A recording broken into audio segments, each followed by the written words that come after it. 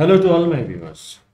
This is Dr. Dhaval Maheta and today we'll understand Purge domain widget in Orange. So for this we will go on the canvas of Orange. We'll activate the file widget. This can be done by just one simple click.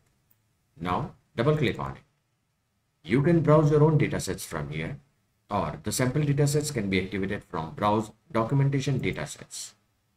So activate the heart disease here. Click on open.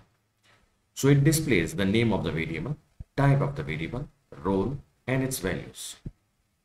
Now activate the purge domain which is in transform menu. Just click here and connect it.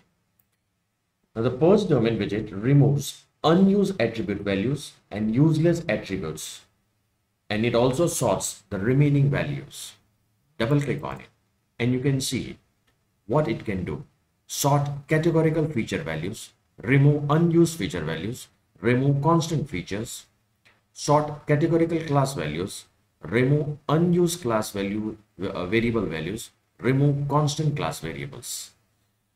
In meta attributes, it can do remove unused meta attribute, attribute values, remove constant meta attributes. So all these things can be done by purge domain.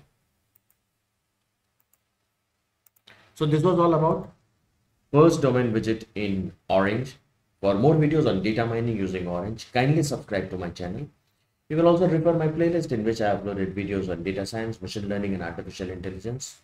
Please don't forget to like and share my videos. You can also follow me on different social medias, link given in the description box.